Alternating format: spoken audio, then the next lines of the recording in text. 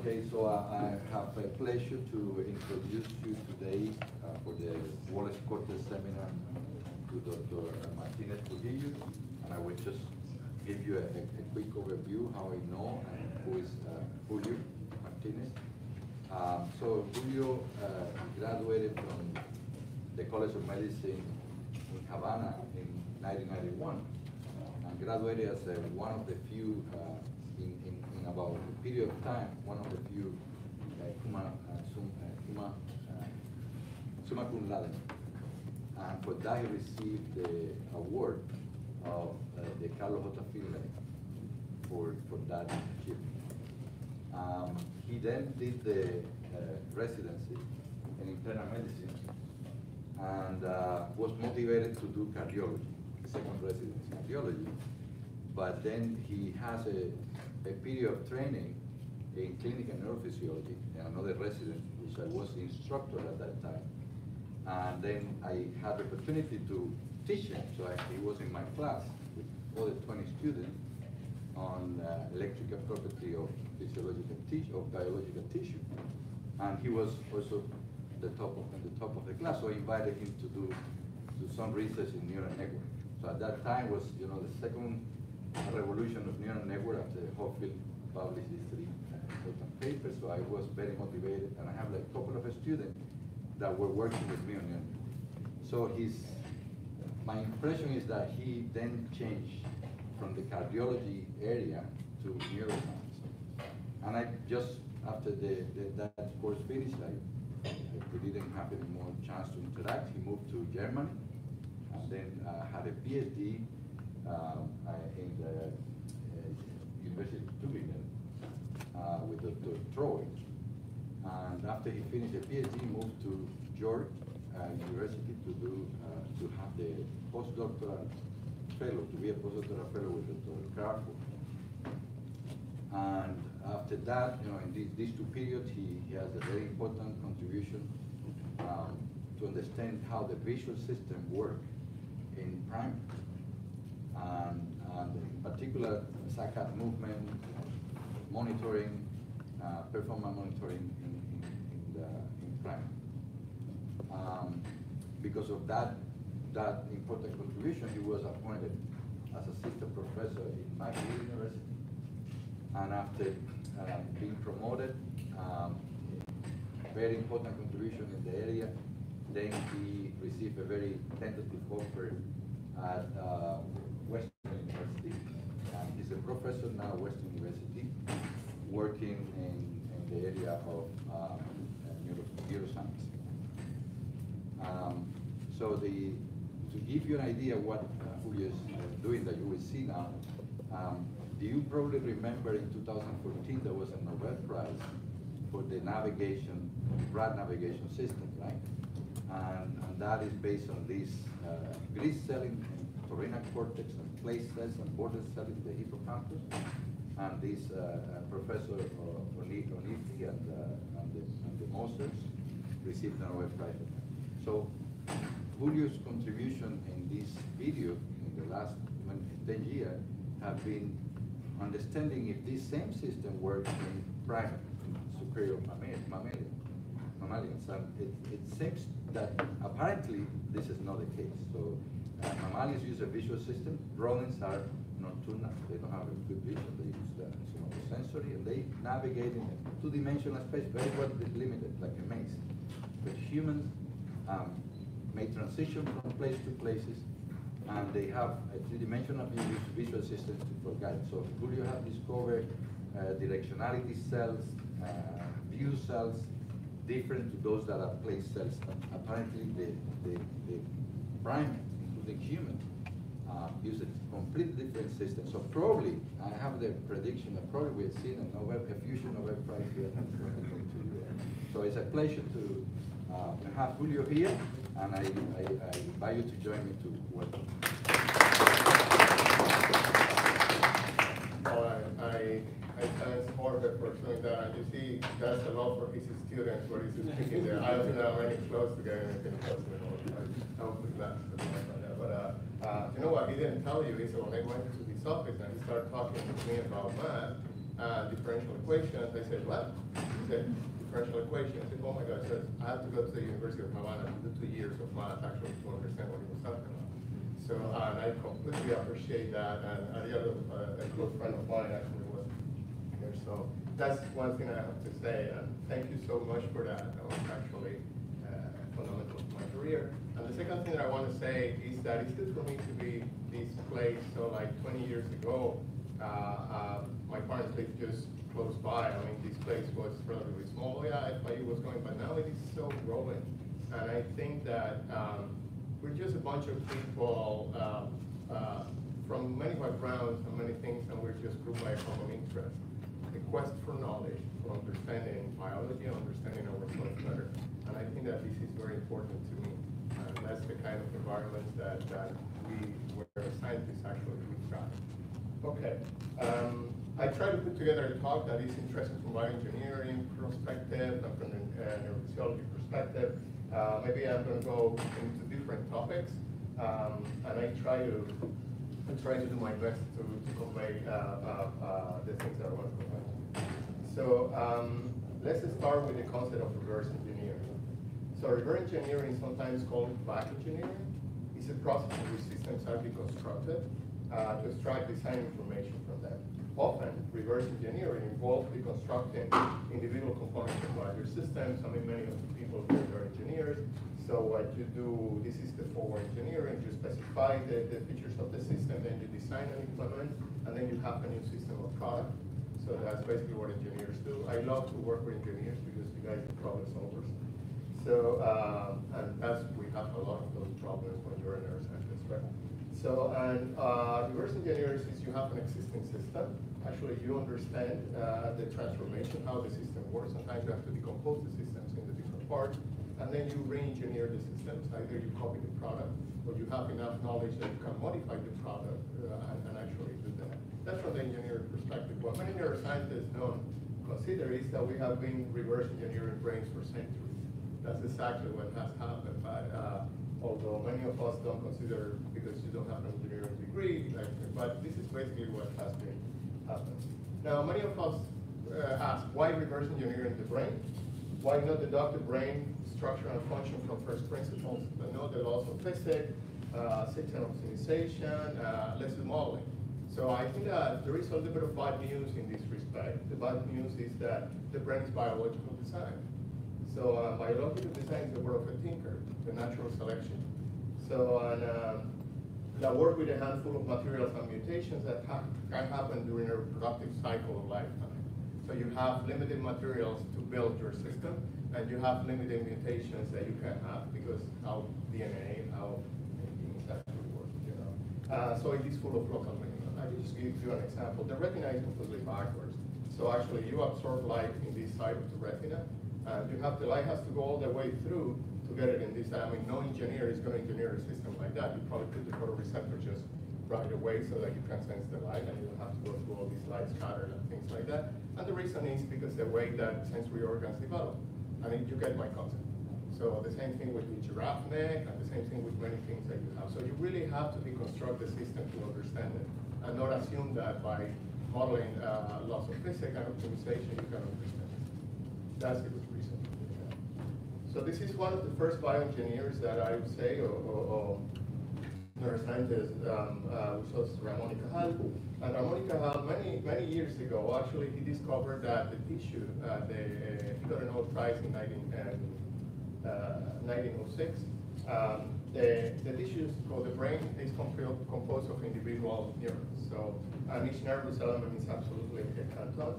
And uh, these are drawings of Cajal, so he was looking at the microscope and drawings. He wanted to be an artist, and he has some several paintings out there. So by, by the way, uh, there is a, a, a super interesting information that I love to that because sometimes I mention that to my Cuban friends. I say, oh yeah, of course, has to be. So Cajal was in the, in the Spanish wars in Cuba, was fighting for the Spanish, not for the Cuban. That was in 1875. And he got malaria, so they sent him back to Spain. And he said, oh no, because he was in Cuba, he got the Nobel Prize. Said, no, no, that has nothing to do with the other. But what I know was that when Cajal was actually there, he was taking water from the swamps in the province of Camagüey. And the officer actually complained that he was just spending too much time taking those waters and looking under the microscope.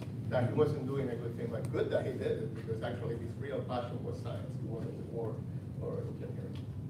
So now there is a, a, a little bit of a bad news uh, that we need to take that not all brains are alike. So here is the brains of different species by this uh, review from Herculano Hosel. So Susanna is showing here uh, uh, different brains from different species. And what she does is take the weight of the brain in grams and then to count the number of neurons in each brain.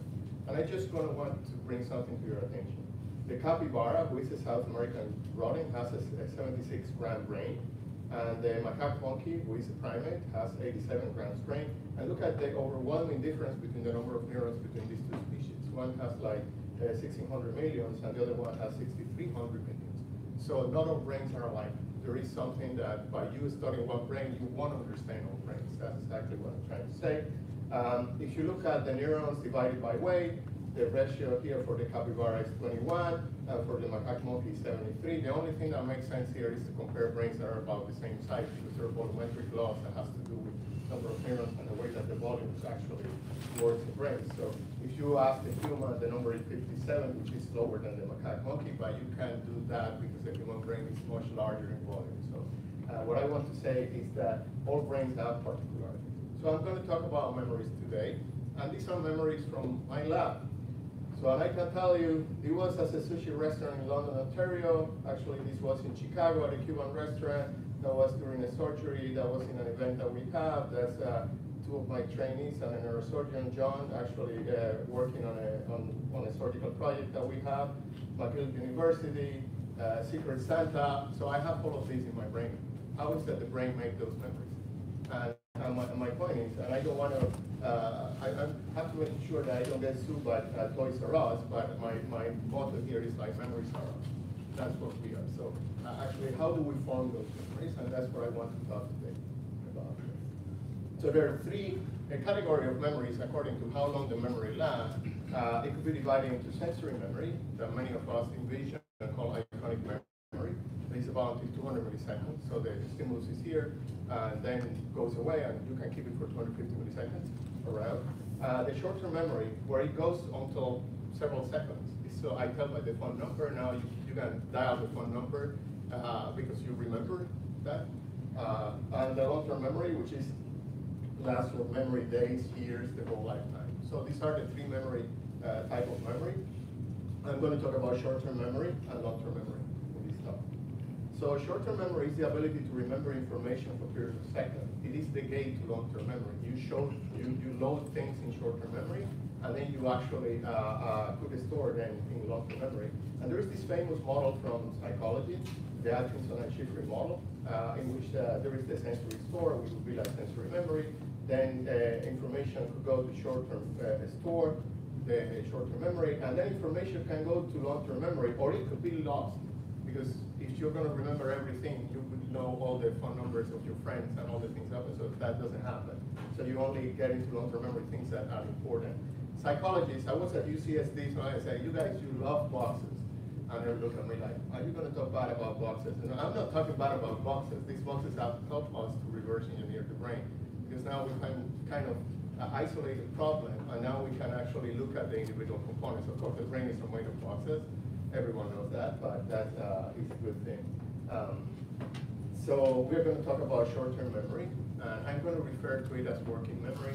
Working memory is a type of uh, short-term memory which you uh, that uh, you have not only storage of information and maintaining the information, but you could manipulate the information. Uh, you can think about, okay, I can you rotate an image, or you imagine yourself in a pool in Miami Beach, or you could imagine yourself in a pool in Mexico, and probably um, that's some sort of manipulation of information. Now, this is very important So lesion studies support a dissociation between short-term and, and- long-term memory systems. So somehow, apparently, if you do a lesion study, for example, in nineteen thirty-six, Jacobson's lesion the prefrontal lobe of three species of primates, and what he finds is that it was a short-term memory deficit, but the long-term memories were spared. So basically, the memory that happens years ago, if the animal acquired knowledge of something like uh, um, months ago, that was spared. That's just a prefrontal cortex, the most anterior part of the brain. By the way, this part of the brain appears uh, de novo in, in, uh, in primates. In, uh, uh, start with, start with um, prosimians and then start growing in, in, in, in, other non-human primates and humans, they have 30, 30% of the brain of humans. So, and there was another uh, very important discovery in 1957 when uh, HM, everyone knows HM, when you remove the hippocampus bilateral, which is right here, it's just the intertemporal lobe all the way down. Uh, these patients didn't have a problem with short-term memory, but they had a problem with long-term memory. So Brenda Milner, that was the one who did that studies, um, who did the study, uh, she described that you would just come to the room, introduce yourself to HM, and then he goes away, and then after that, like, I don't know, five, ten minutes come by and say, hey, how are you doing? Oh yeah, who are you? I introduce again, because the guy just, he couldn't form new memory, like the movie Memento or something like that. That was the, the whole idea. Um, so, and uh, a, a, a friend or a colleague of mine, uh, Joaquin Fuster, he's a Catalan that is now in, in, LA, super uh, interesting person. He did a, a, a study where he uh, he found a neural correlate of the mechanism of short-term memory. So long-term memories, all of you probably do neural networks. We know that these things that you call weight matrices, that is exactly where long-term memories are, we believe that they are stored, in the strength of those weight matrices in a neural network. So short-term memory is a little bit different. You don't want to store in these weights, because once you store them in those weights and you modify the weights, then it's a long-term memory. So what Fuster did, he trained a monkey uh, to do a, a, something that we're calling a Wisconsin general test apparatus, which is very similar to the Wisconsin test that we uh, apply to patients. And the animal was in, a, in this uh, setup, and then you have two wells, and then you show the food is in one of them, and then you occlude both of them, and then you lower a screen so the animal doesn't see. He saw where you put it, but now when you lower the screen, he has to remember where it is short term, right? Then after a few seconds, you go up with this, the response period, and the animal goes right away. If the animal has a lesion in the prefrontal cortex, forget, go 50%, 50%, so he's really uh, uh, doesn't know what to do. Um, and then he recorded from the lateral prefrontal cortex, which is area 46, if you know your anatomy. If not, it's just located in the anterior uh, side part of the brain. And then what he found was that there were neurons representing where it was. Some neurons were reacting when it was on the right, were spiking a lot when it was on the right, and some when it was on the left. And they were silent when it was on the left, the ones that were on the right. So you have neurons selected for right location, remember location, and left remember location. And this sustained activity in the absence of sensory input when the screen is down, right, um, uh, uh, is what he called persistent firing. And that is where we thought that uh, the memories are stored. They're stored in this persistent firing, and when persistent firing extinguishes, the memory is gone. By the way, Joaquin experiment wasn't exactly with the Wisconsin test apparatus, it was a modified version, but you get the point. So I'm using this for didactic purposes, because I don't want to go into. So that was in 1971. And from there came the work of Patricia Goldman Rakit, uh, one of my idols, in, uh, she was at Yale University, and, and I think that she was an extraordinary visionary in, in, in many places, and she confirmed all of this, and she went further with models and, and a lot of things that I, I'm going to talk a little bit about that. Now, when the fMRI came, actually, like a couple of decades ago, um, people start finding that if you uh, have a working memory task, for example, to remember one of these patterns, that was Frank Tong at Vanderbilt. So he actually found that uh, there was ball activity uh, encoding the contents of working memory in the back part of the brain, in sensory area. But monkey neurophysiology didn't really find that. Monkey neurophysiology was a big contradiction, but is the whole brain encoding those working memory, those uh, sustained activity patterns, or is just the prefrontal cortex, or where it is? So that's where we started our uh, our uh, the part of this uh, working memory research, and we say, well, you know what? We're going to put electrodes in different parts of the brain, because uh, unrecorded spiking activity was what Brewster described. And from this spiking activity, we're trying to decode the contents of working memory. We're gonna see if what happens. And then what we did, the experiment was, um, um, we chose a, a model that was a macaque monkey. Uh, one of the things that we know is that the macaque monkey actually, um, uh, uh, we know quite a bit about this, the biology of these animals. We know that information goes into the different pathways. For example, I'm skipping the retina and the LGN, so when information goes into the cortex into V1, information gets split into two different pathways. So the pathway, the dorsal pathway, has information about position and speed of objects, uh, uh, visual disparity, and the ventral pathway, pathway has position about what is called the where and what pathway. So uh, faces, colors, orientations, and that's how information is decomposed and information then converged somewhere in the prefrontal cortex. Just to talk a little bit about the biology of the, of the thing. Now the question is, where along the visual pathways is working memory encoded? Is everywhere? It's just a distributed system, or is a system that it depends uh, on that? That's a very clear question. Uh, what we did is we designed first a path for that. I'm just gonna, um, if you can play the subject here, if you fixate the point there, now I'm showing you this arrow, right? And now I say, well, remember which one was the arrow, and now I'm gonna show you uh, uh, different arrows there, and then you have to press a button when you find the same one that matches the one that I showed before. The one that I showed before was the sample, and then they are the test. And when the test that matches the sample comes, you say, so then I know that you remember for this short time period, you remember what was in a, uh, that's a short-term memory task. This is kind of the layout of the short-term memory task. In this case, this was a random dot pattern. It's kind of irrelevant. This, uh, the red arrow shows you the object. And then here we have the delay period. That is where you have to remember what that was. And during then you have the test periods in which you just press the button when the thing comes out that was similar or that was exactly. So monkeys can do this task pretty well. And uh, what we did is that we, many of you know single unit recording, extracellular recording. Uh, you go with an electrode very close to the neuron, and then you, you, you drive the electrode there, and then you record the responses of neurons uh, that. So there is a lot of electronics going into that, but uh, that's what you guys are good at. So and then you can look at the number of action potentials per time unit, and you will detect whether there is persistent firing or not whether the contents of working memory are represented in these firing patterns.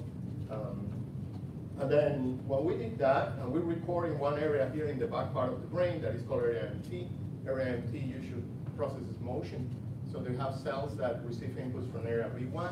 So and then they process motion. The cells are reactive to motion features. And our patterns were motion up, motion to the right, to the left, motion down. So that's how one. And when you do that during the sample presentation, you see that this specific cell responds more to motion to the right, then uh, uh, to motion uh, down, and then to right and left. So it's a tuning curve that usually is described by a Gaussian uh, uh, function. But what you see is that there is definitely um, uh, tuning here. So if you are listening to this cell when you're showing the pattern, you can tell what kind of pattern you're showing. But it's a little tricky, not to one cell. But, but if you look at a group of cells that they have these selectivities, you can say exactly what I'm showing on the screen. I used to play that game. I used to hide behind the coding, and I said, I'm going to tell which, uh, what I'm presenting there. And then Stefan was telling, I telling Stefan, I'm okay, my supervisor. Um, and I say, okay, now it's up. Yeah, when I hear the cells firing, I say, now it's up. He's going, yeah, it's up. Well, now it's left. Oh, no. And I used to play that game because you can identify the responses. So the sensory sample period, no problem. When you go into the memory period, the cell was silent. You say, well, cells in MT, they're definitely not encoding this working memory representation. So that was the, the, the first conclusion. But if you go into area MST and lateral prefrontal cortex, that area located more anterior in the brain that integrate information from many systems, uh, if you see here in the memory period, you see exactly that the cells are actually encoding the direction of the sample. So we can extract information about what the animal has in mind uh, and, uh, during that time. This is closer that you can get to mind reading. Uh, uh, I wish that we could do that with many things, especially BMIs and things like that. That's exactly what you do. But um, what we found is that, yeah, information is not in early sensory areas. So what the fMRI signal is picking up, in my hypothesis, is probably some uh, feedback signal that is actually uh, getting local field potentials uh, enhanced. that's my thing. So this is just a summary of this. Now, what are the mechanisms of persistent firing in single neurons? I mean, if you're going to reverse engineer the brain, you have to keep going. I mean, that wasn't possible. Yeah, we published, published some nice papers, but that wasn't the goal. There was actually to, to, to understand this. And we have a couple of, of ideas. Why a cell will just keep firing? I mean, why would the cell keep firing even if the sensory input is not there? There is no input into the system, and now you have the cell firing. So we thought, well, maybe it's just a capacitor. The cell stores energy. So you got the input coming in, then you store the energy, and then you discharge as the capacitor, and the length of your memory is going to be the length of the discharge. So it's the tau of your capacitor, right? So that's what we thought, and we call it capacitor-like single cells. Uh, that could be pretty much what happens, even if you stop the input here, where this is the input and this is the cell firing, that uh, it goes, and that would be this slow, is basically the tau, the activation of the cell. But could also be, could also be that you have recurrent network dynamics because the cells are connected. It's, I call passing the ball. This cell pass the ball to the other, and pass the ball to the other, and pass the ball to the other. And I, we do a recurrent network, network dynamic, and that's how persistent firing just remains in there. So it's, it's very simple. What we did, we, we used a technique called optogenetics. Many of you may be familiar with optogenetics.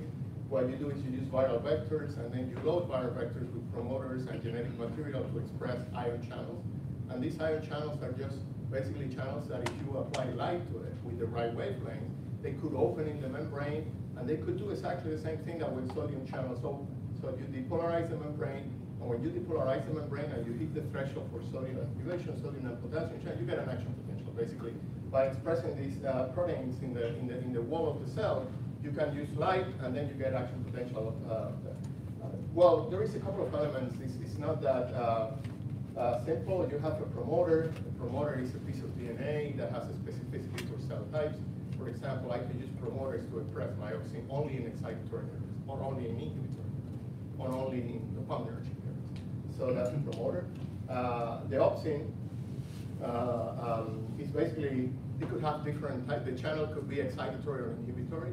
The channel could actually make the cell to depolarize and fire action potential, or it could hyperpolarize the cell, for example, via chloride pumps or hydrogen pumps, and actually can, uh, uh, just keep in mind, this is just genetics, right? So depending on the sequence that you insert into the genome of the cell, the expression of this channel is going to be, and then the cell machinery just takes charge of the whole thing and then express it, goes and express it into the membrane. And now you have the cell full of little things on the membrane that you can actually, uh, excuse me if I'm saying something that is trivial, but I don't know the audience very well and there are a lot of students. So I, uh, anyway, I, I hope that it's not getting boring. So the fluorescent marker is something that we use uh, when, when after that we can corroborate if it was expression of the opsin in the cell. It's just a tool that we use actually to, to assess uh. Anyway, this is the structure of the virus that we use. Uh, it was uh, an AAV.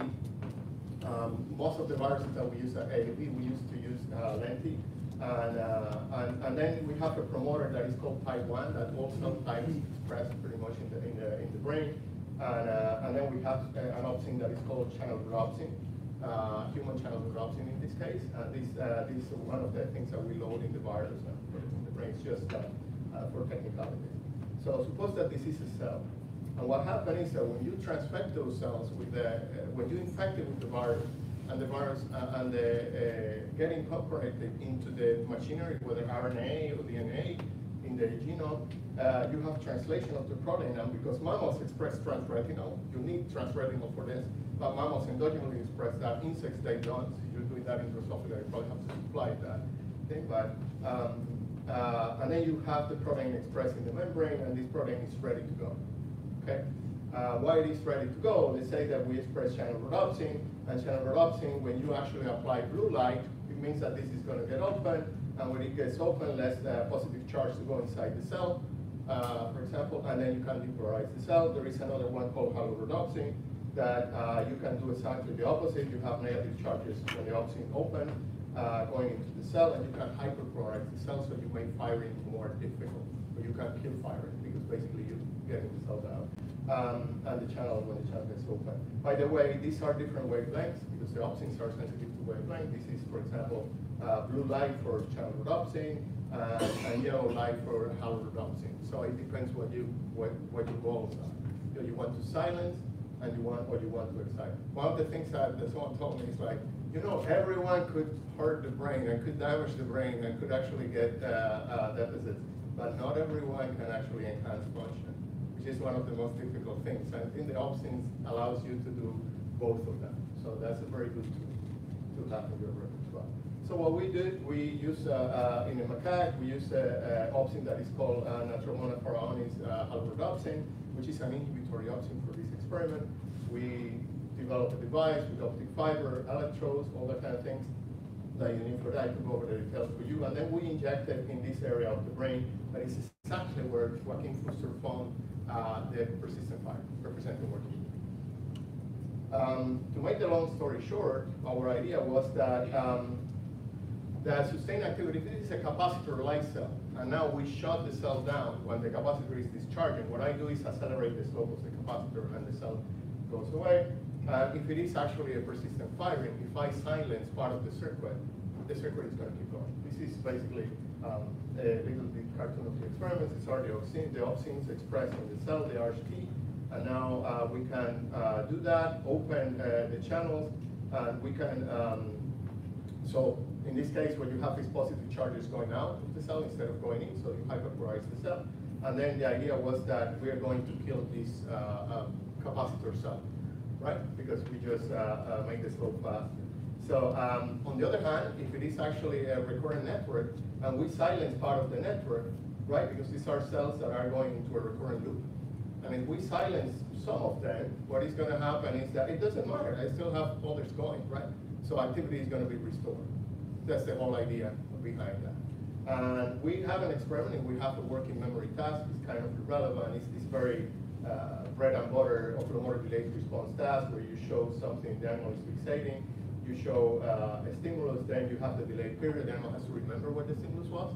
And when the fixation point goes up, you make a, a saccade toward the location where the stimulus was. So that he has to remember in his place where the stimulus was. When we do that and we record the activity to the prefer, so what you see in red is the activity. Let's start with the control here on the right. Uh, this is working memory or delayed persistent activity when the animal is remembering, let's say, that location on the screen that we call it prepare. And, and this is when the animal is remember other location for control, so to make sure that this is what is happening. And what you uh, shine uh, um, um, green light, what happens is that we silence the neural activity. The little dots that you hear, they're called raster plots, and each one of these things uh, represent, each one of the rows represents a trial, and each one of the of the uh, of the lines represent an action potential. So when actually we shine that, the action potentials here go up, so we are successful. We kill actually the neural activity. But we didn't expect that they think the whole thing is going to go up again.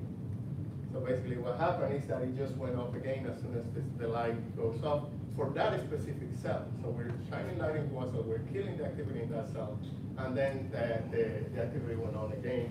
This is a control to make sure that we're doing the right thing, but the, the storyline here is like this cell is connected to a recurrent network, and it doesn't matter if you stop me and if I kill the, the slope of the, uh, and I do my power, the cell is just gonna go keep going, because it's a recurrent network. So basically what you have is a recurrent network, uh, that we know that prefrontal cortex has a lot of connectivity. And um, I think the capacitor solve hypothesis, as appealing as it is and as simple as it is, and probably a good engineer solution to this problem, uh, doesn't seem to be working very well in our right? So it's basically a recurrent network dynamics, which makes things more difficult to study. But uh, you know, what is a recurrent network? So I'm going to make a, a, a short summary here. And the working memory encoding occurs in association areas. We found that. And the tools that we use is single cell recordings during behavior. So on behavior. So I'm, I'm going to highlight the tools in red because many engineers are interested in tools. So am I. And uh, working memory uh, encodes uh, encoding involves recurrent networks. So it's basically we use optogenetic for that. But what are the features found in association area that enable these recurrent networks to exist? Why do you have recurrent networks in association area? And those things don't exist in sensory area. Isn't that the brain kind of similar around? Well, uh, these are another piece of uh, news that is, uh, if you look at, for example, um, in the cortex of the mouse, uh, this is area V1, V1 in the back of the brain and frontal uh, area in this part. This is how the cortex looks like. If you do a section and you look at the number of cells. So the cortex, the, the frontal is a little bit bigger than V1, but if you do that in a monkey, you get V1 is actually kind of small and the prefrontal cortex has grown a lot. There is something there that is happening that it makes mice and, and uh, it was from rat, that was from Jennifer Luebke in Boston, uh, make it different. But if you're gonna look at the neurons under the microscope, the neuron in V1 in the mouse looks like this, and in frontal cortex looks like it, it looks like kind of the same. A little bit the same, so the same size. But if you look at it in a primate, the neurons in the prefrontal cortex, they have grown quite a bit. They have like much more area, much more volume, much more dendrites, much more axons, and they're spread upon. And with much more axons and much more dendrites, they also have more dendritic spines. So they have more possibility of recurrence. That's one thing that we know that happens. So these prefrontal neurons are so branched out and have so many dendritic spines where other cells make contact. That's one thing. But then we ask the question, well, what about interneurons? How, how can we go into that circle a little bit more in detail? Because the brain is not only excited through a network, network, uh, network. That'll be a dream of an engineer because you do a feed-forward network and bam, and then you get the thing out there, right? Well, not that simple. You have a bunch of 20 or 25% of your cells are interneurons. They're inhibitory neurons. They're in the cortex, and we need to take them into account. They're not there for no reason, right? So, um, and we have this model for Xiaojing. Uh, uh, uh, um, he's a computational model. Um, Xiao, Xiaojing is at NYU, and I have learned quite a bit from him. So basically, Xiaojing had this model uh, in which each one of these gray things is a pyramidal cell. And what you have here, 0 degree, 180 degrees, and 360 degrees is the tuning where the memory, uh, the spatial memory is encoded. So it's just uh, take it at that. And these neurons connect to each other through recurrent network if they're the same tuning, if they encode the same location in space, say 180 degrees. But there are three types of interneurons, the parvalbumin, calretinin, and calbindin. And these different type of interneurons, which are neurons that use GABA as a neurotransmitter, so they inhibit other neurons. But that's, that's uh, and these interneurons connect in a very particular way. There is a specificity of connectivity. For example, the PV neuron receives inputs from the pyramidal cells and projects to other neurons directly and hit the, the cell bodies actually of the pyramidal cells and to the other neurons.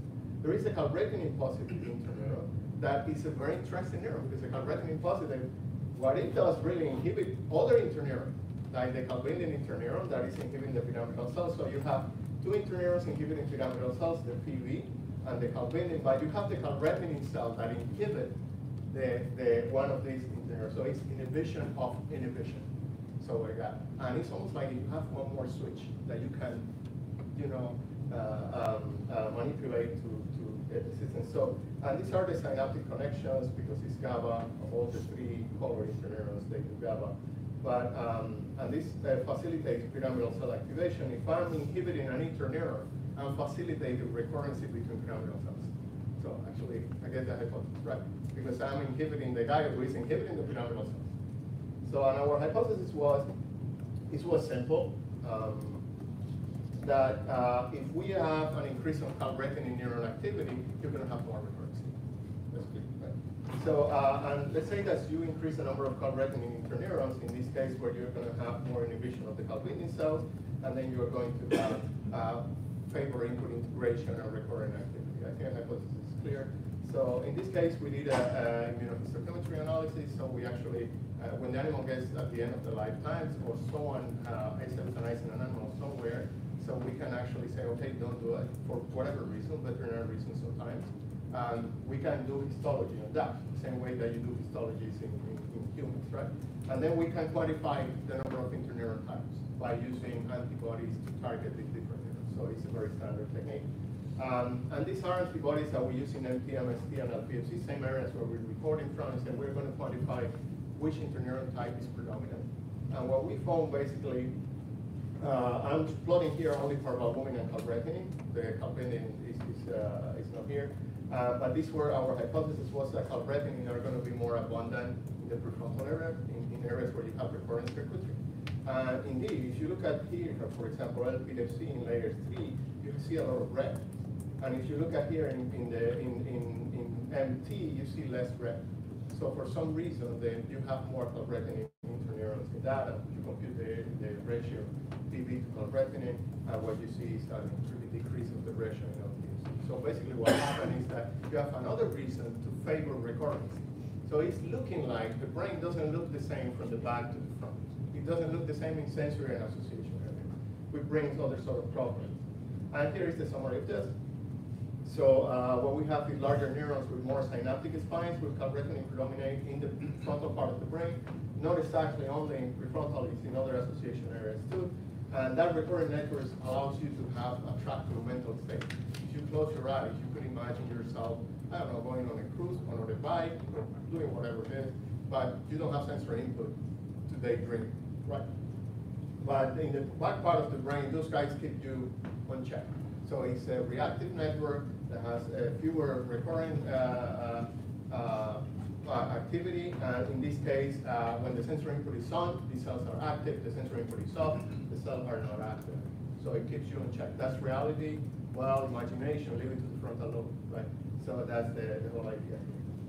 Um, well, we, we have a whole consortium, so over 14 universities doing uh, this work, and we have a, a database uh, with uh, features in, in primates that you can go to these websites and look at the database in which we are doing patch clamp, histology, we're exploring these three different areas systematically uh, with my partner in crime, Amy Arnsten at Yale, and she's actually, uh, uh, we are colleaguing this project from your next more interested, I'm happy to talk about. Now, there is a problem that it was bothering me for a long time, right? That experiments that we do in the lab under certain conditions are reductionist in nature. I mean, when are you sitting down in front of the computer screen? Oh, that thing comes. Uh, okay, now I'm going to remember. Oh, that thing comes again. Maybe you'll do that.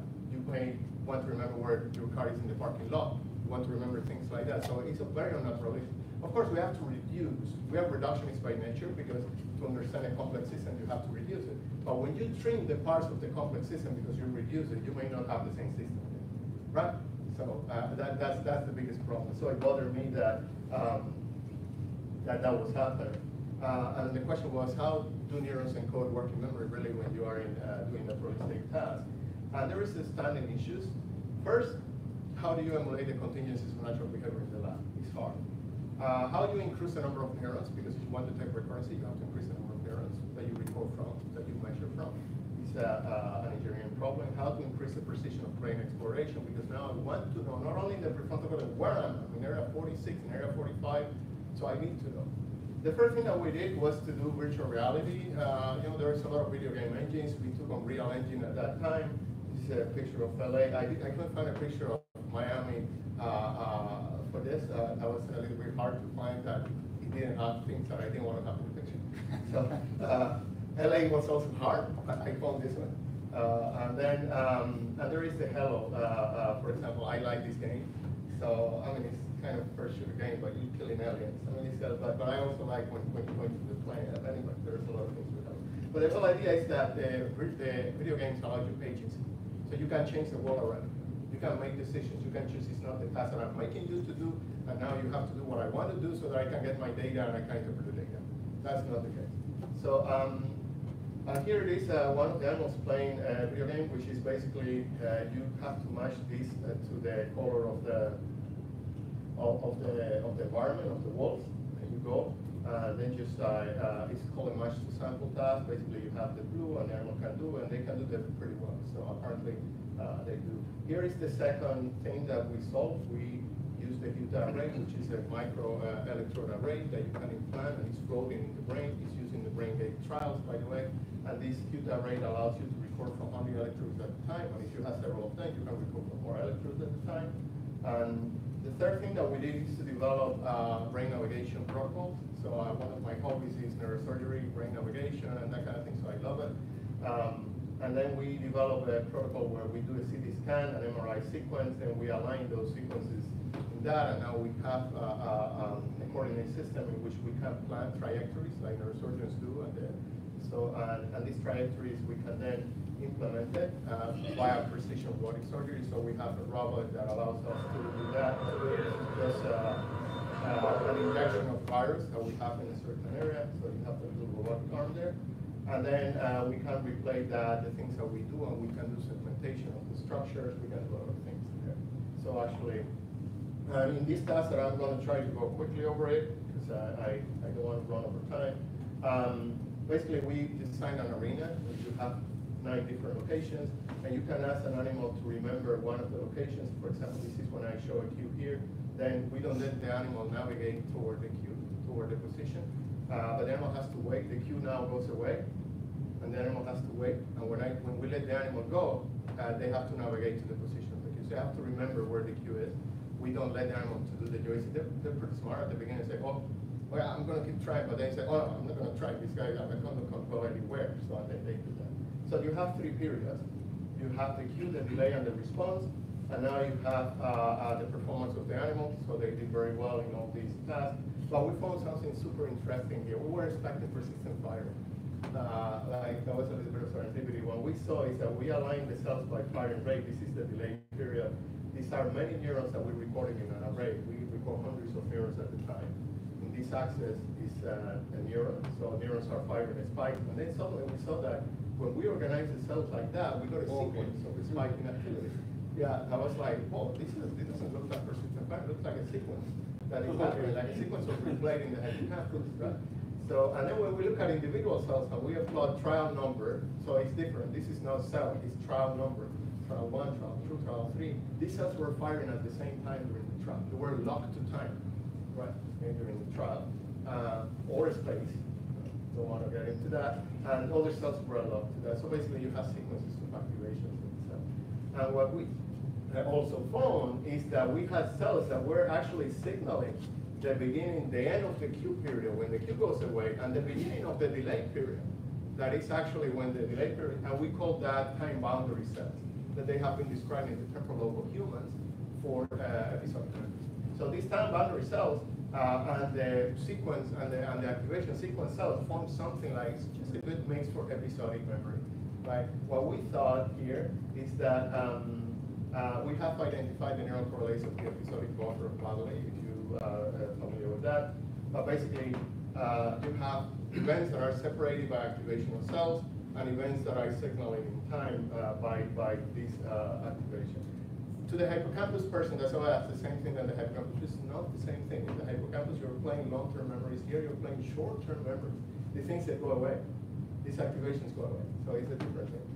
So what we did was like a system uh, technique. We actually construct vectors of time where the cell fires. We're not doing fire rate. These vectors are time in, in a cycle of cell firing. And then we put that in a multidimensional space. So those vectors are neuron one, time for neuron one, time for neuron two, time for neuron three of activation.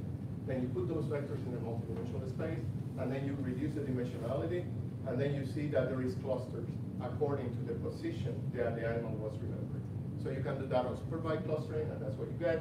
And um, when you actually plot the, the, the, Euclidean distance between the clusters, you get this normalized matrix of centroid. That's this funny uh, uh, three squares in the middle. Instead of being nine different locations, like in the diagonal, I have these three squares in the middle. And what we realized that, that these are actually the columns where the animal is going.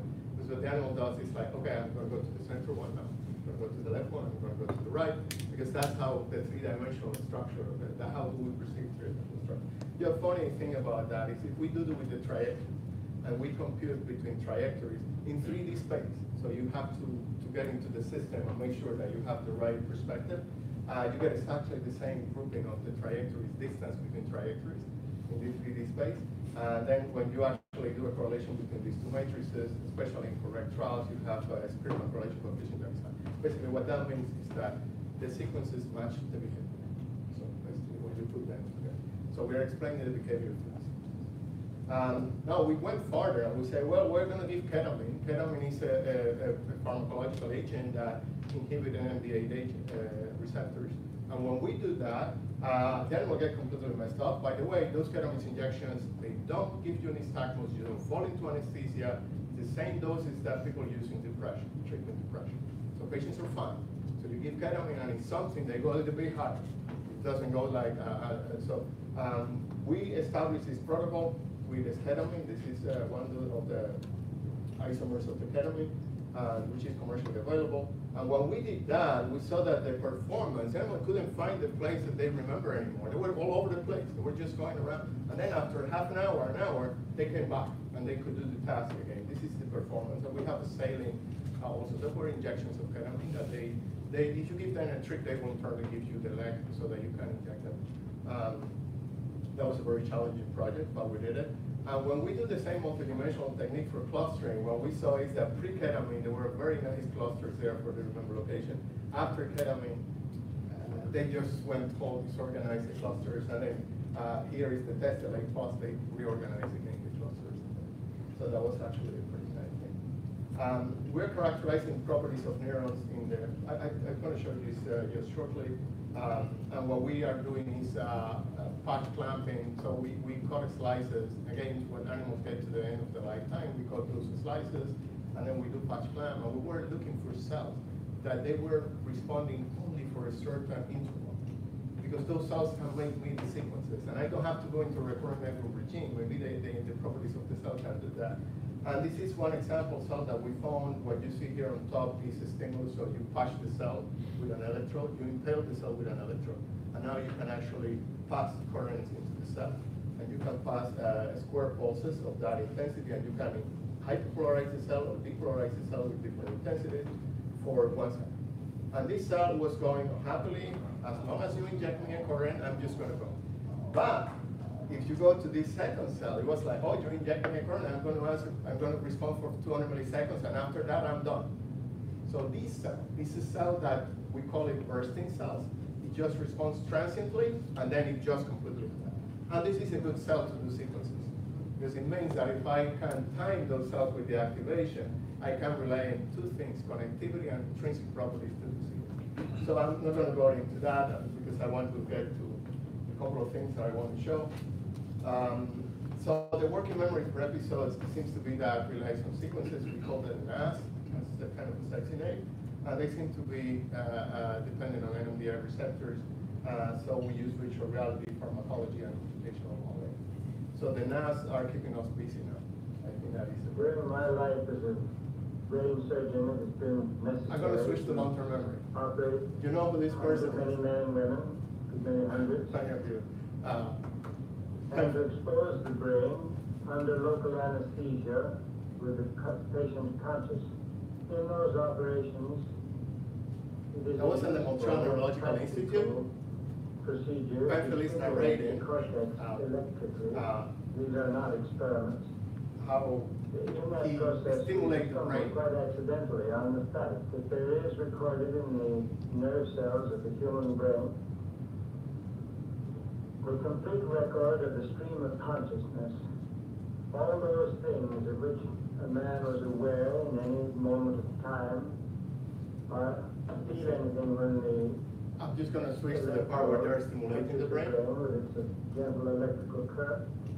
It is as though the electrode touched a wire recorder or a, or a strip of film, and he relives a period of time. When I talked to them afterwards about how it seemed to them, they say it is much more real than any remembering. It is as though they were re-experiencing it. I believe you're about to hear the actual words of patients in response to this stimulus, which they were quite unaware of while they were in the operating room. You will hear them as I heard them. I have a sudden feeling I went through all this before. I'm So, sorry, I, I- I'm gonna stop it here. It looks like a, like a movie, like. I, I can show you the video later. But what Penfield is doing is stimulating the temporal lobe in those patients and evoking memories. What he called the, the experiential recall. It's fascinating. Uh, it's funny because the nurse at some point is kind of has a smirk in her face. so And I love this video. It's black and white. It looks like one of these old movies anyway.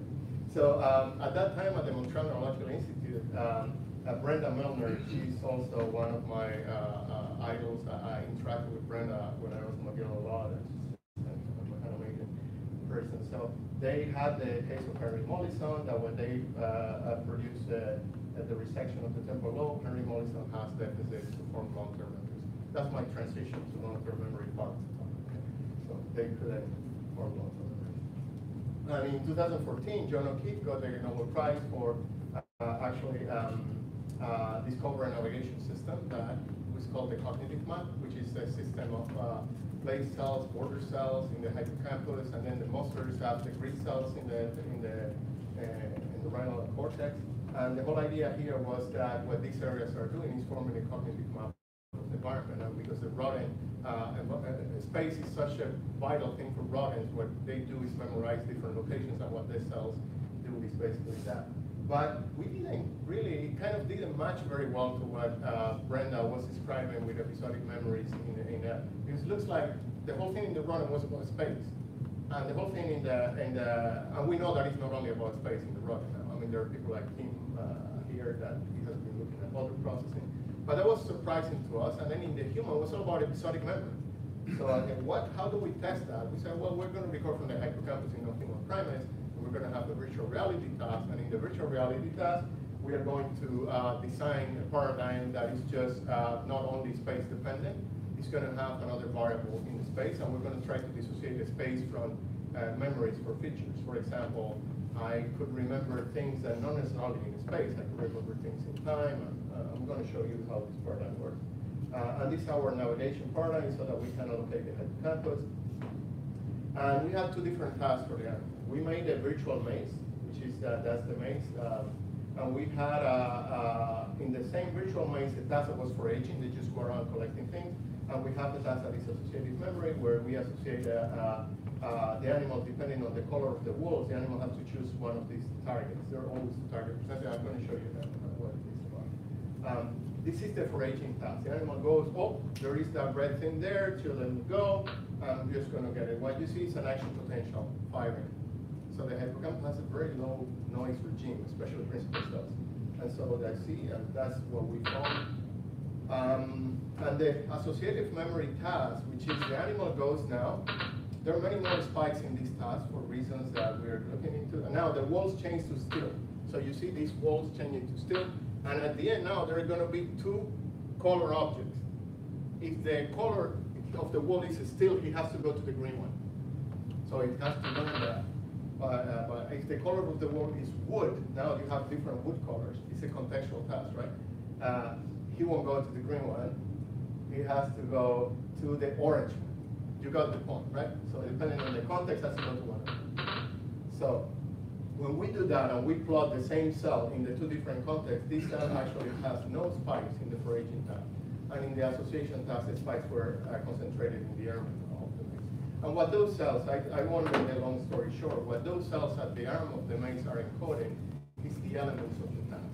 That happens to be at that space, but it's not a space really like what the cell is encoding, it's the element, the association of the context and the color that happens at that.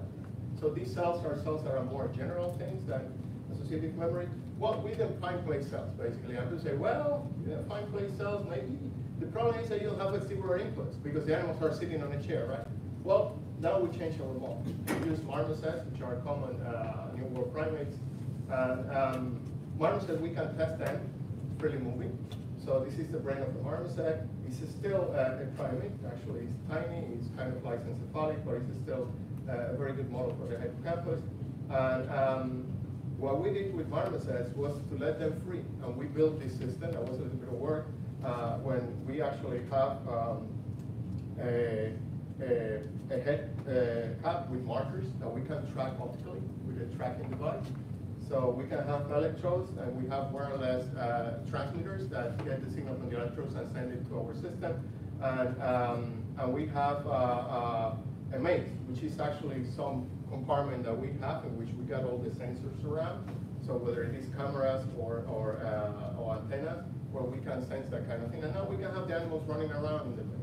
And to make the long story short, um, uh, what we have is a bunch of signals relating to tracking the animal position. Because it's a rigid body, you also can track where the animal is, is, is uh, the head is directed, because the markers are right on top of that. And you can also detect translations in space. And you have all the neural signals. And to make the long story short, this is just an example of tracking. This is an animal here. Uh, this is a marmoset here. You see the markers here. It goes back, and then look in this direction.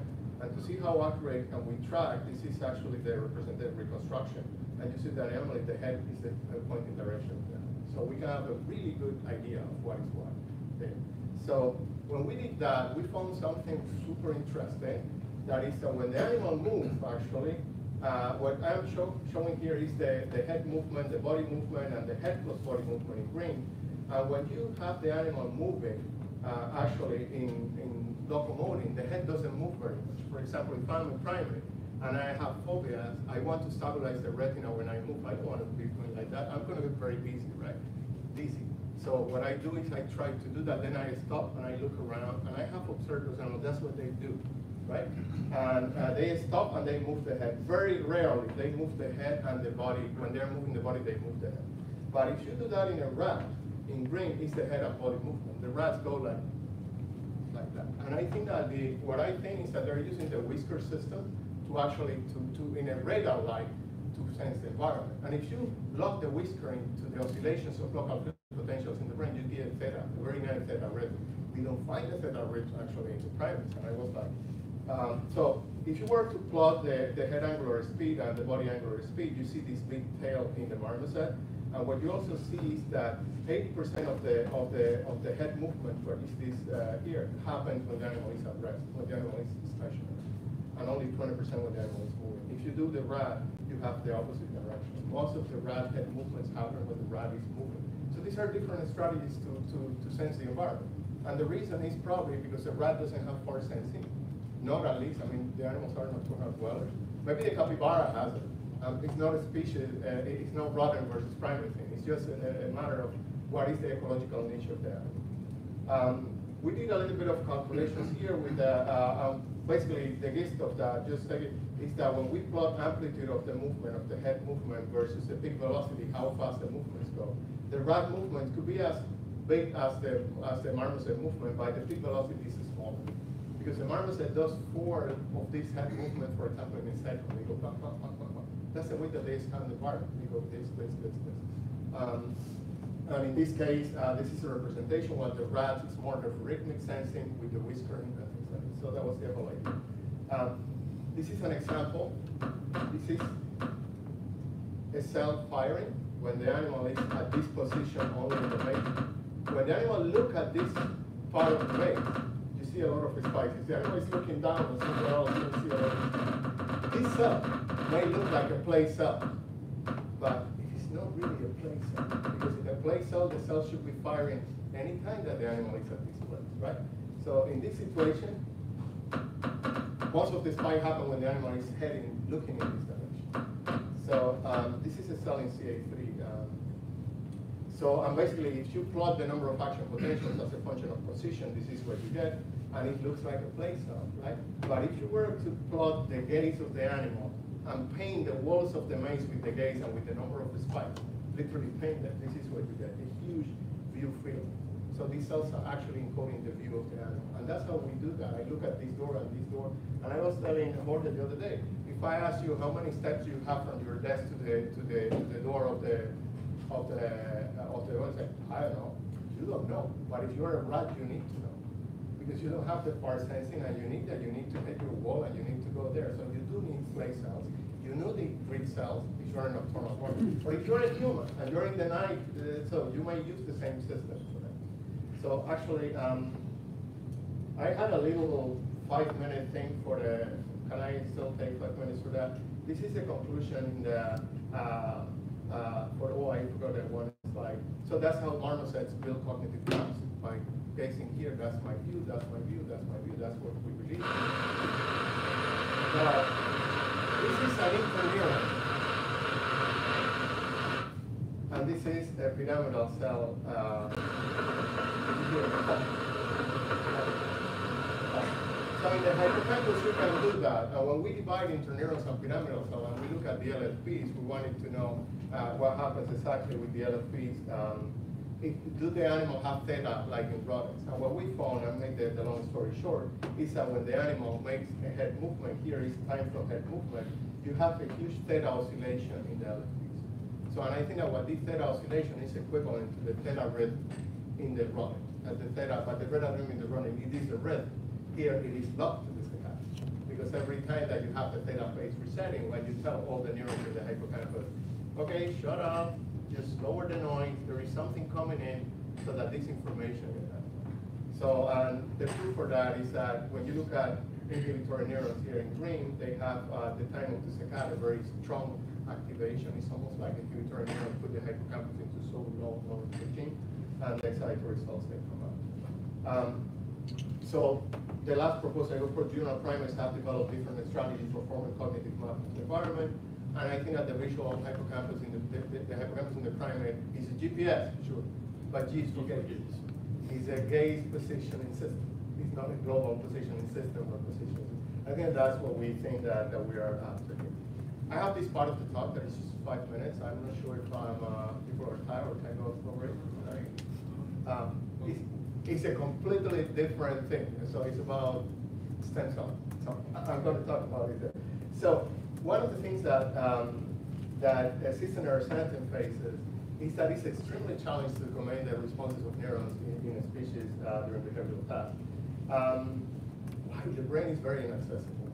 So the brain actually has, it's like a jelly. It's protected by this tall, three uh, uh, membrane. Uh, if you damage it, it could cause paralysis or something, just a tiny thing what you're doing in neurosurgery. I mean, like, and the brain doesn't regenerate, so there is no effective ways to repair the brain so far. It's, you know, there is a lot of physio and things like that, but there is no effective way. Um, and the other problem is that uh, some diseases are unique to humans.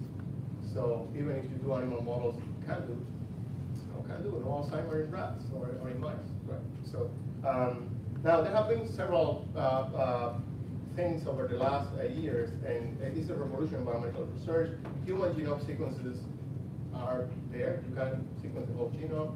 You can do cell reprogramming. You can actually use tools for reprogramming, say like CRISPR-Cas. Uh, um, sorry, different techniques for cell reprogramming. You also can edit the genome with CRISPR-Cas, for example, and then you can put genes and delete genes.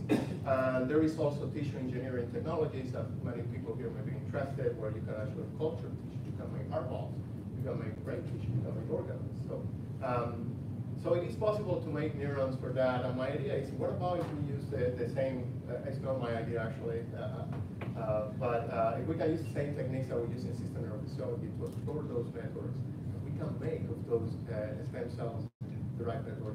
And they have synapses too. They have to connect to each other. So we can study basic processes in those networks, right? Um, advantage, it is a less complex system. Uh, it is amenable to manipulations and replicates the features of mature circuits, depending on, the, on how long can you keep them.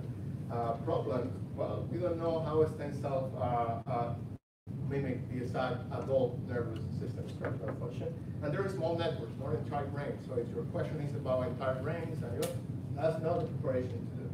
But I give you an example of how this could be very useful. So Rett syndrome is a postnatal developmental disorder that affects females exclusively. So it has epilepsy, it has uh, different uh, symptoms, seizures. Uh, they suffer a regression in development. When they're one year old, they start going in development. And it's kind of painful to see that in some of them. They cannot walk, intellectual disability kicks in, and, and it's really hard for parents to do that. And its cause, we have kind of narrowed down the cause to uh, MECP2 gene in the X chromosome. That's what is usually girls that have it. When you have a boy that has it, it's usually easy, right? Um, because the, the, the only X chromosome in, in, in males, I mean, has it. And in the girl, you could have a heterozygous, so you can have chromosomes or whatever. So um, what you could do is you can take the skin of those patients, right? And you can revert the cells to iPSCs, to, to stem cells. Um, that was Nobel Prize, Yamanaka, uh, 2006, 2007. Um, uh, and now you can't revert that, and now you can use protocols in which you induce actually neurons from there, and if you put it on a dish, they start connecting to each other. So they start forming a network. And this is a dream for any person that is in a neural network, because now you have, well, you have the actual physical thing. It's not just like symbolic representation, you have the physical thing. And now you could do patch clamp with those cells, you can do explore intrinsic properties, but you can also put them on a plate with electrodes and then you can actually uh, uh, uh, detect activity in the plate. So we did that with some lines of the syndrome with my colleagues at, at SickKids in Toronto. So, uh, and what we found first, the normal neurons are bigger and they have more dendrites than the ones that you knock out the MECP2. So you completely abolish this gene. There are still heterozygous, but you abolish the MECP2 um, uh, in that cell line from a patient. And when you explore intrinsic properties, you see that, for example, the base, what we call it the baseball card project, trying to get funding from the Toronto Blue Jays. I don't know if you guys are lucky with the Marlins, we're not lucky. but anyway, the, the baseball card project, um, when you explore those cells and you start injecting current into them, the normal, the wild type, as you inject current, you see that there is an increasing firing of the cells. So the cells behave almost like a linear film, oh, right? many of these cells. But if you look at the Rett syndrome cells, they don't, actually, sorry. Uh, the Rett syndrome cells, they produce, they go high, but then they run out of juice and they go, they can respond to the input way. And if you look at, um, this is just to plot visually that, that if you increase the intensity of the current, you see an, the largest intensity of firing on, on this corner, this is time, this is intensity of the stimulation, but in the Rett syndrome, it doesn't happen. Happen here, some of the intermediate state, it looks like some kind of pipe bypass filter. Um, um, so that was the first find. Then we put them in an MEA, microelectrode array, so the cells are floating here as monopole, uh, monolayer. And when we do that, actually, we can observe then over time, when the cell wire, you see that the ensemble activity start coming up and coming up and coming up, and they start firing. And this is just an example of a recording of the MEA. Those are action potential for the individual channels, activity for individual channels, and this is what happened. It's amazing to me. These cells, they have one thing in mind, mean, cells don't have in mind. Okay. What they do is that they fire these action potentials and they go on fire, then there is a pulse. They go on fire and a pulse. And I think that what they are doing is a genetic program, it's wiring. And I was uh, discussing. I think this is an intrinsic channel that is going like, I want a pacemaker at this stage of development. That's what I need. Because where I'm gonna get activity from? There is no external input, there is no retina, there is no somatosensory. So that's what the cells do, they're wired. Well, you can extract from each channel the action potentials as rasters, and then you can have a map of uh, cells that looks like that. But this is the thing, this is the wild type. It's a beating heart of the cell. The wild type goes short burst, silent, short burst, silent. When you look at the Rett syndrome, it's almost like go like a burst, stop. And the burst, and we have more in this story, but I don't want to say, all I want to say is that the phenotype is different. So these guys are trying to wire, but either they cannot make it, because the synapses are not functional the same way, or there is another intrinsic program that was triggered there that, that we don't know. Um, basically, the conclusion here is that the MECP2 mutant neurons have lower thresholds, and in networks they have uh, lower number of spikes, but uh, so there is a network phenotype that we can rescue. Now we can, we have a phenotype to rescue, either through pharmacology or through CRISPR-Cas, and you may be able actually to, to help those patients we get there with gene therapies or whatever it is. So just that this is the conclusion. We make a brain from genes to networks, so you have the DNA, the RNA, the proteins that you make, and you can make neurons by putting those channels in the membrane of the neurons, and then suddenly you have excitable tissue, and suddenly you have a network of neurons that are diverse because you have different phenotypes. Um, but there is something that I have been observing, and, and this is a quest for me, it's just a message to the community. Uh, I don't know how much attention can I get, uh, but basically from the interaction of these thousands of genes, there is an, an, an, an intricate molecular pathway in this, each cell.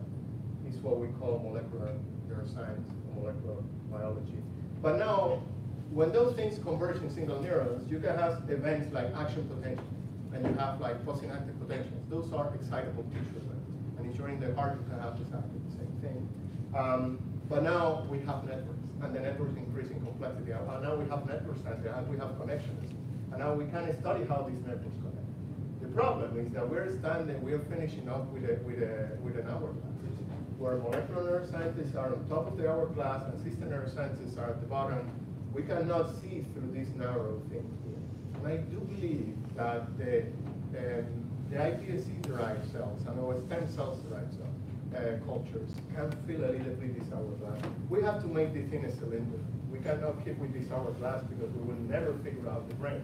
So it's just feasible that we're going to figure out the brain.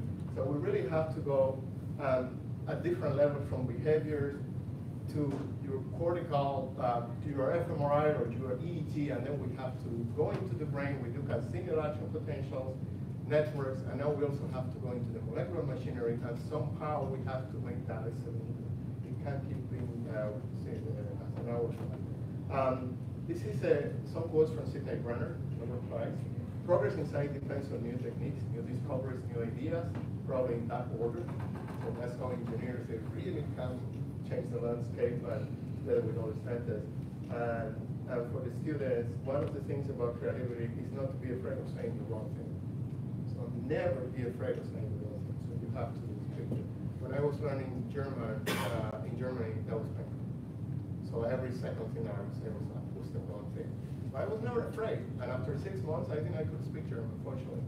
So never, same thing for science, never be afraid of saying the wrong thing. So these are the guys who did the job, so I have, uh, I I can go over it then, I mean, they're very, and I have fantastic collaborators everywhere. Uh, But uh, my lab, I'm fortunate to have them around, and again, I I- I could take some questions now if it is possible. I'm sorry, I. We, uh, we may have a little bit behind the, the agenda, so we have time for a few questions. Question? That's a fascinating talk. I was uh, uh, curious in the, about the memory information in context of uh, pathology or hyperthymesia when people are have an abnormally exaggerated ability to form memories and to remember to autobiographical details of the events in their lives. What do you think is happening with the recurrent neural network? Is that a, an overriding of the um, excitatory or inhibitory activity, or is the exaggerated function of the, uh, the hippocampus? Um, I mean, that's a really good question. The short answer is, I don't know what is happening, but I could speculate. Uh, my speculation is that these people have an extraordinary ability to form synapses. Now, human, human, the human uh, uh, neuron seems to be, the synaptic transmission is much more efficient than in mice, for example. So somehow, if you get an action potential here, the ability to evoke postsynaptic potential is much more efficient. So in human, and in the hippocampus, this efficiency may be even enhanced. So there are two things that I have observed. The hippocampus is a very low noise system. Uh, it's a low noise system. I have, um, I don't know if I have here, um, uh, maybe uh, a slide that I wanted, I show it that, it's here. I'm sorry, I don't have it here. Um, the hippocampus is like a wet cement. The synaptic plasticity is so enhanced by whatever recycling happened or, or, or you know, um, uh, the uh, uh, cyclic dependent receptor amplification, that if you are to the hippocampal circuit and your sensory input and experience get there, you're going to leave a mark. And this mark is called a memory trace. Now, this memory trace has to be replaced. So the hippocampus is wet for some reason this cement is very well, or uh, the, the gates to the hippocampus, for example, is open, that thing is going to get there and leave the memory trace no matter. The rest of the cortex is a little bit the, the work of the sculpture. The sculpture. Uh, uh, it- it's like making a sculpture. You take a chisel and then you start, and that's where consolidation happens. I think that most of this ability is probably in the amount of plasticity that some people have in the hippocampus to capture that thing and goes like that. Humans are also very good at one-shot learning. I'm testing, I didn't show that, but I'm testing patients now. Uh, when we do patients, the same task that you give it to the monkeys, you have to increase the complexity of the task because the patients are just like, it's like you're looking at a Ferrari versus a bike, you know? I mean, like, it's not really, uh, and I